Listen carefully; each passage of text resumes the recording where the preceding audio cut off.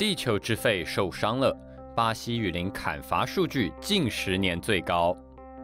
巴西政府近期公布该国年度森林砍伐的数据，数据显示树木砍伐的情形是过去十年来最严重的。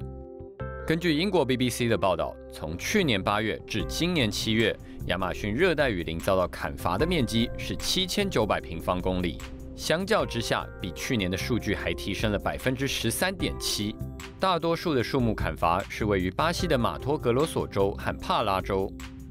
除了影响供水之外，国家地理杂志的报道也指出，森林砍伐可能会导致热带雨林不再从大气中吸收二氧化碳，反而是释放温室气体。